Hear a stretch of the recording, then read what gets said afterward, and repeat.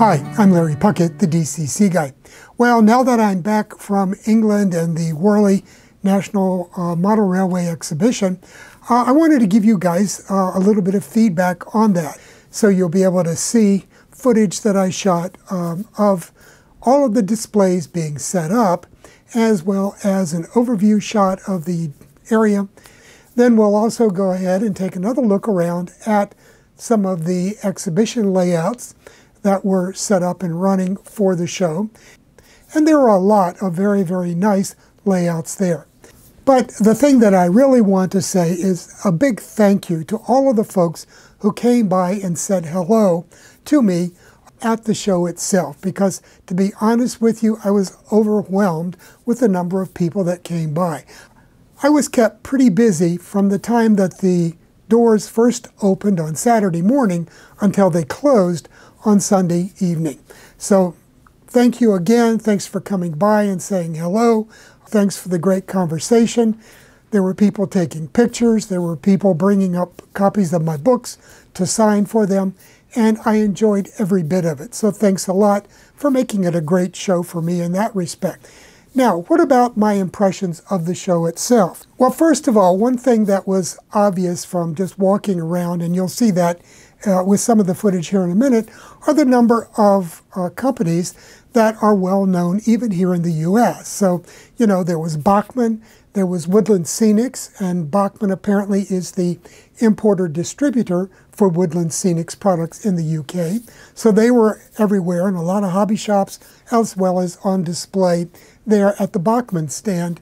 Um, and again, I'll show you that in just a minute. There also was Peco. Now we know Peco in the US for the track, but Peco also has a wide range of other model railway products. Uh, also present was Kato, or Kato, depending on your pronunciation, showing off some of their latest products, including uh, the new uh, Union Pacific Big Boy in N-scale that they'll be releasing soon. A couple of the other names that most Americans would be familiar with was Heljan, they had a display there, as well as Oxford Diecast.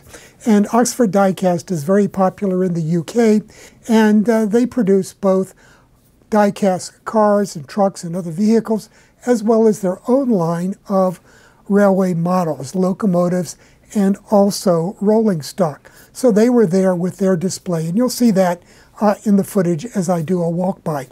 And in addition to the dealers and manufacturers that are familiar to Americans, there were also just tons of other UK uh, manufacturers and dealers there. There was DCC Concepts, there was Dapol, as I said, Oxford Rails, Oxford Diecast was there, and Hornby was there with their new TT uh, gauge sets. So that was a new one at the show. And there were just tons of other dealers there selling uh, pre-owned and new uh, rolling stock and locomotives and kits and everything that you would expect to see at a U.S. model train show. So from that perspective, there wasn't a whole lot of difference between what you would see at a UK train show and a US train show. Very, very similar. Now, people were asking me how it compared size-wise to US train shows. There are a lot of train shows all over the US throughout the year, and they vary greatly in size. So just to give you a pers perspective, Warley is their national model railway exhibition. So it's a national train show, and it's their biggest one in the circuit. Um, it was fairly large. However, the size wasn't as large as they'd expected because um, there was a train strike on Saturday of the show. And the exhibition hall is directly served by trains there, so they typically have a large crowd of people arriving by train. So because the train drivers or engineers were on strike that day, it heavily depressed the turnout. Prior to COVID in 2019, the show had hit an attendance of 18,000 over two days. This year, it came in at somewhere between 12.5 and 13,000. So the train strike definitely had an, an impact on the show. Uh, in comparison, the Train Fest in Milwaukee can run up to, say, 20,000 over two days, and the big show in Amherst can go anywhere from 20 to 25,000. So that's the really big one uh, in the U.S. So in general, if it hadn't been for the uh, accents and the variety of accents in the room, um, it would be hard pressed. You'd be hard pressed to tell that you were not at a U.S. model train show. It was that similar to what we see in the U.S. Now, one thing I want to point out is that I'm going to be releasing this video on both of my channels on YouTube at the same time.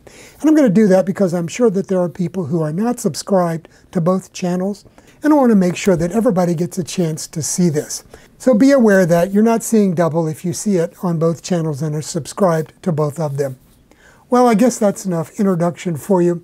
Let's go ahead, go back to Warley, and we'll get a shot of the crowd rushing through the door, starting the show and getting things underway. So let's take a look at that. And here we are at the front entrance with all of the railway enthusiasts lined up, ready to break through the doors as soon as they open that line. We're going to wait here and get them crushing through here. And here they come. They've just opened up the gates. I'm going to get out of the way before I end up being crushed by the crowd. Okay, I wanted to come back here uh, to the food terrace and give you an overhead perspective of the uh, size of the show here. So this is the Warley National Model Railways exhibition. You can get a very good idea. There's just tons of uh, dealers here selling uh, various model railway products. We've got a number of displays of uh, railways model railways on display operating. And then towards the front, a lot of manufacturer displays. We've got PECO, DCC Concepts. Uh, there's Rails of Sheffield back there in the background. Hornby is back there, Gauge Master. Just everybody you can think of. Accurascale. Kato is here. And just a lot of different manufacturers have products here on display. And as usual, you just can't go anywhere without running into a subway. Okay, and here we have the DCC Concepts guys getting set up with this massive display that they have here. I think this is about 54 feet long, something like that.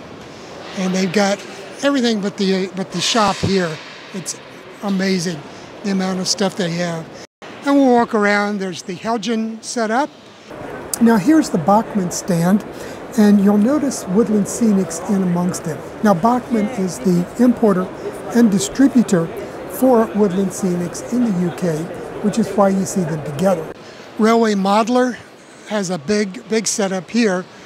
And of course, uh, no train show would be complete without various layouts. And there will be a number of layouts on display here at the show this weekend. Okay, down here is Oxford Rails and Oxford Diecast. So Oxford is well known in the U.S. for their diecast uh, automobiles. So here's a good shot of their products.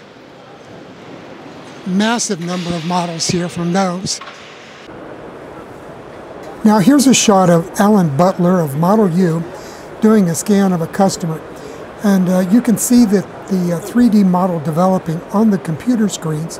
There's one on the upper right and one on the upper left there uh, as he does those scans. So it's a laser scanning technique, I believe.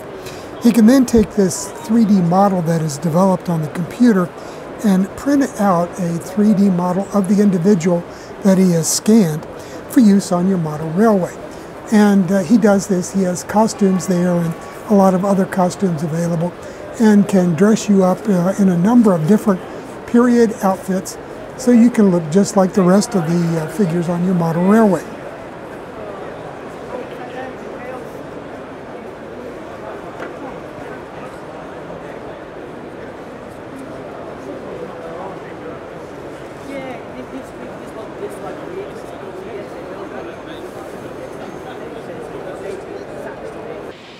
Okay, here we are with the Kato display. You can see their display layout on uh, operation here.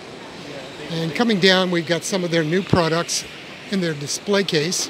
You can see a lot of their very popular um, North American designs, but the big thing right here is the new N-Scale Union Pacific Big Boy. Announcement coming soon, so you can be waiting for that. Down here you have more of their locomotives.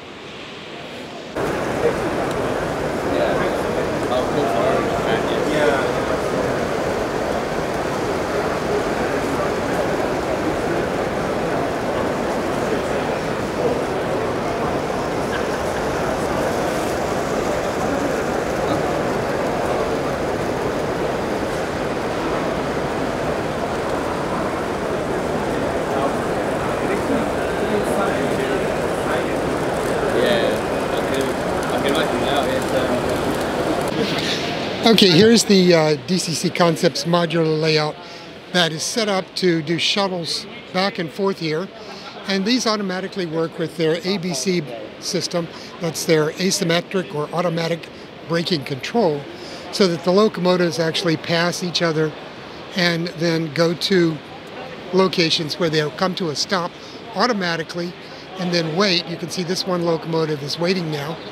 And then it will go ahead and proceed onto the backtrack and wait for a command to go ahead and reverse and move in the other direction. So if you're looking for a way to automate a trolley layout or something of that nature, this is the system that you'd be looking for here. So it's their DCC Concepts, ABC or automatic or asymmetric braking control system. You can see this one coming along and they're going to stop and wait, and the other one behind it will pass. And the turnout will automatically throw, and then the locomotive can then proceed on down.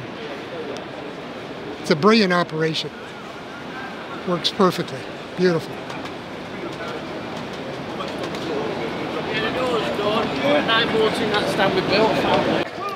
Okay, so this is the DCC Concepts Western U.S. layout and it uh, the uh, unit operates standalone without any operators being involved and the locomotives use their ABC system and decoders which detect the presence of the locomotive and give it a command to slow down and stop and then reverse whatever you need it to do. So you can set up a shuttle operation completely unattended as these locomotives are doing. So we have a Fairbanks Morse Walthers locomotive up at the top working its way around and it's going to come back down. And then we've got a small Bachmann 44 tonner here, midpoint, and they'll pass somewhere in the middle. And uh, using the ABC system, they just shuttle all by themselves all day here. Now this is Mick Byron's uh, prize-winning layout, and it won the best modern image uh, layout uh, at Warley. Don't be confused by the yellow uh, liveries there. It's not a UP layout. This apparently is a UK railway testing, testing facility, and they use the, uh, the yellow livery or the yellow paint scheme on these. So it's an actual prototype that he's modeled.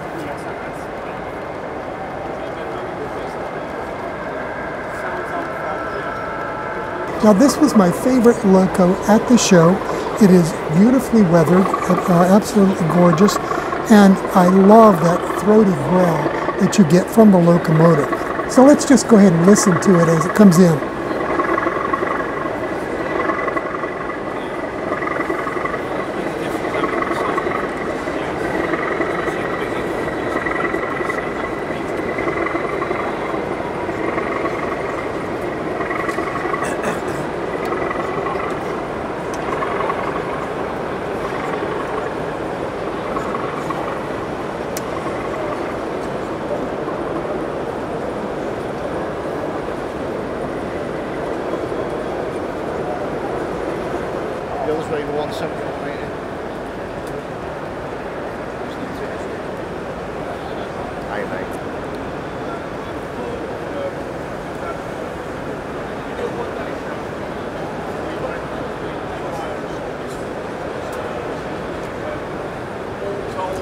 Now on this next one, notice the very large turntable that is being used. So he can actually turn entire trains to go onto his layout.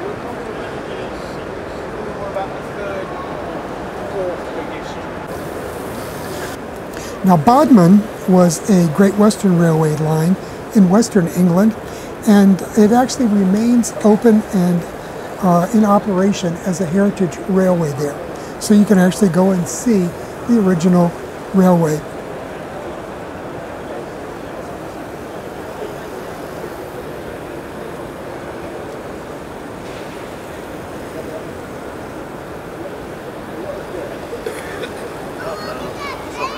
when you put certain combinations of vehicles for the first time,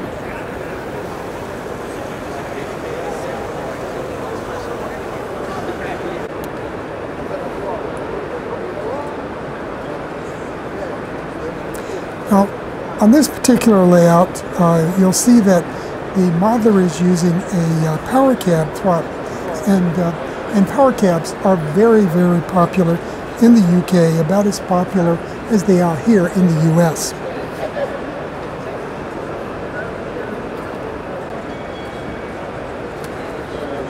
This is a 1925 era uh, station-based layout, beautifully done. And you'll see here we've got a Southern Railway tr passenger train uh, coming into the uh, into the station area from the right. This wharf and lumber facility is another beautifully done layout. Note that uh, there's a train in the mid-ground hauling lumber uh, through the yard, so it's just beautifully done. Well, that's a wrap for today's video. I hope I've uh, given you a good overview of what a train show is like in the UK from an American perspective. Uh, it was impressive. It was great to see it. Uh, it was interesting that there really aren't that many differences, and we really are just one people divided by a common language. And those accents brought that out quite a bit. But overall, we were able to talk and understand one another. And uh, English is English no matter what the accent is. And model railroaders are model railroaders pretty much the same everywhere. And we're all looking for that next deal to come along and for the next great locomotive or piece of rolling stock that we can pick up at a very good price.